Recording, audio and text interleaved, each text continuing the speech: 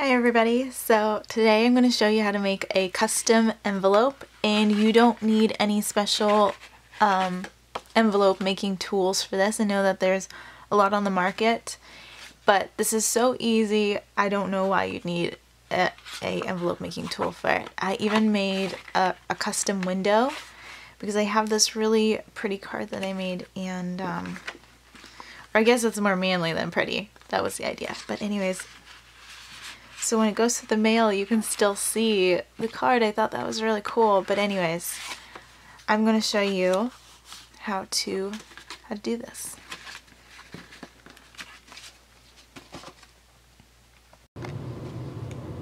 I almost forgot. Um, so for this envelope, this one that, that, I just showed you is black. So you think, you know, sending that through the mail might be a problem because you have to write the address on it.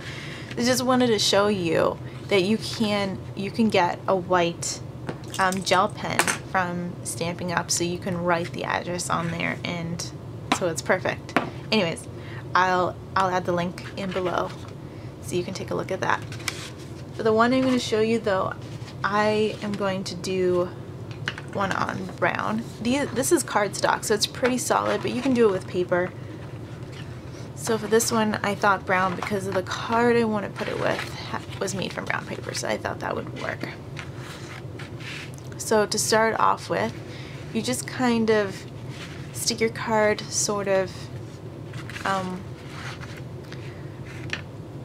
like judging how much space you're going to need around it. And I should mention this card is about half the size of an 8.5 by 11. If your card is bigger than that, you may have to get um, bigger paper, bigger cardstock, but I think this is kind of a standard size greeting card for the most part, so I think it'll work for, for most cards that you make. Anyways, so I'm going to go ahead and I'm going to just fold it over, kind of looking where the, where I've kind of placed my card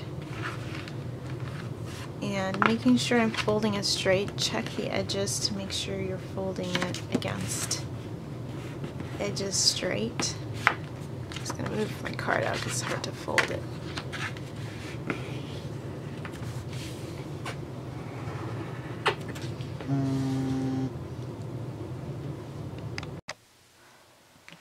Okay and then need to just decide where how much room we want around the side. This this card has an embellishment on it, so I uh, I need to take that into consideration and leave I think quite a bit of extra room on the sides.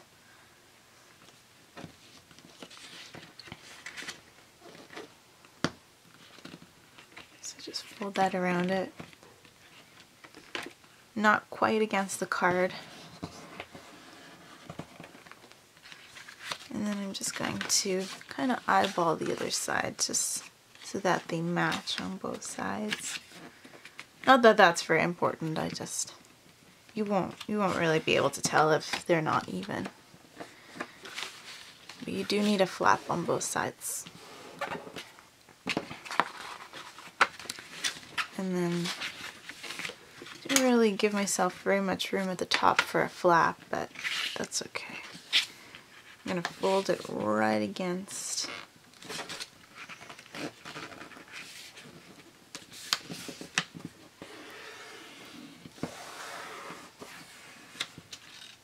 Perfect.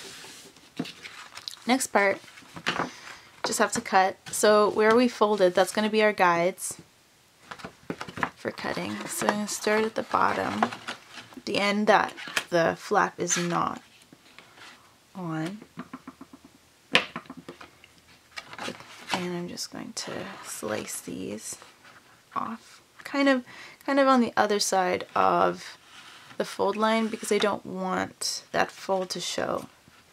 So not quite on the fold line just next to it. Right up to inside fold and on the other side as well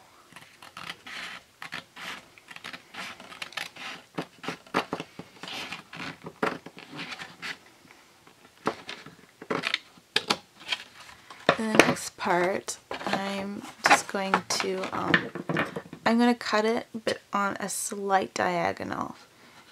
Because I also, I still want to, I still don't want to show this fold, but I need to meet the end of the cut right in the middle of where, where all the folds cross.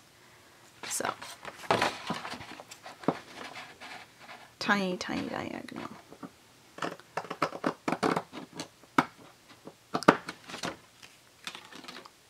And the same on the other side. Just above on a tiny diagonal. Cutting the fold right out. And then pretty much going to do the same at the top. So do it in the same order. So I'll cut the top flap away. I'm going to do this also on a bit of a diagonal so I can cut the fold out. Otherwise you'd see it. Tiny diagonal. And it, it also kind of makes it look more like an envelope too because the ones you buy also have a bit of a diagonal flap. And the same thing, bit of a diagonal, but meeting your, your cut right in the crosshairs of that fold.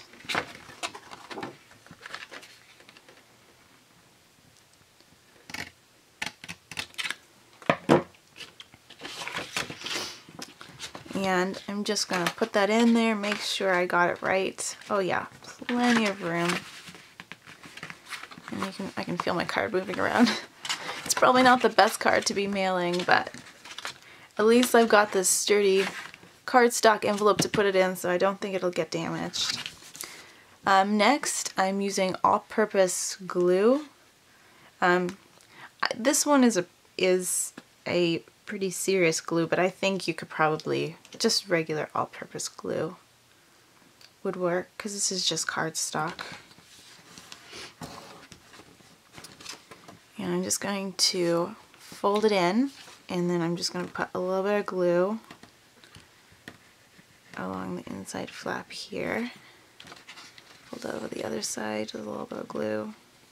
I do recommend you use glue and not double-sided tape or anything like that if you're putting it through the mail. If you're just giving it to somebody and it's not going through the mail, then, you know, whatever, whatever works for you. I like to use double-sided tape, but this is, you definitely, you want to make sure this is not going to open when it goes to the mail. So anyways, this is, sorry, this, I've turned it over now and I'm just gluing the inside of this flap here too.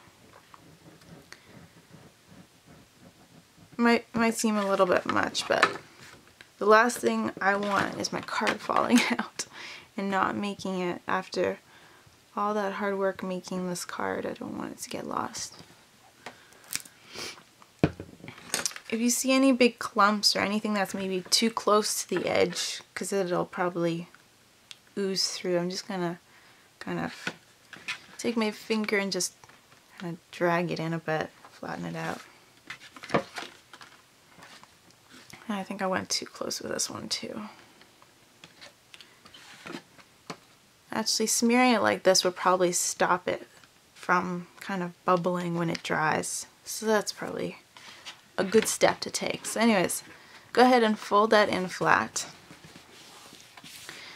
Now the glue will take some time to dry. There, There's a few things you can do. While it's drying, you can um, clip the ends of the card so that it, uh, it dries flat. Or I think the best thing to do so you don't get those clip marks is to find some nice heavy books and stick it, stick some books on top of it and let it dry for about an hour or so. Now I skipped a step because with this one I have the inside flap which I didn't do with this one. I kind of forgot. So you have to do that before you you glue it obviously otherwise that is going to be very difficult. So while the glue is still wet I'll show you what you have to do. So don't do what I did. um, run I ran this through my I have a Cuttlebug but you can use a Sizzix or whatever machine and um, I cut out a circle but if you are skilled you can use an X-Acto knife or if you really want a pair of scissors. And I have all this really thick clear plastic sheets. And so basically I just um, glued it to the inside where I had cut my hole. Or you can double-sided tape. I think I think at that point it's probably safe Glue is probably the best option though. And um, yeah, so there we go. Double check to make sure my card fits in there. Perfect. For um, closing your envelope, you can use really, um, maybe some really good tape and tape it shut, or you can glue it. I would probably just glue it down, stick some some pegs on it while it dries just to make sure once the, the glue is dry. But it's it's that easy to make your own custom envelopes and they come in you can any any size, any color. If you want to do pattern, if you're gonna do pattern paper, what I would suggest is um, cutting a piece of paper out on on on plain plain paper and then gluing it on so that, you know, it's easy for them to read where it's going. But anyways, so pretty easy and simple. Um, and you can get so creative with it because you can cut out, cut out little um, windows and stuff. And I was thinking even if you really wanted to, with a black one, you could cut out a front window and then on the reverse side of your card, you could actually write their address on it so that you could see the address to the black card too, that would work. So endless possibilities, so much fun. So let me know what you think in the comments below. If you have any more ideas or suggestions, um, let me know. I hope you enjoyed this and uh, stay tuned for more upcoming videos. Please um, subscribe if you want to see more and like if, uh, if you like my video. Thanks for watching. Until next time.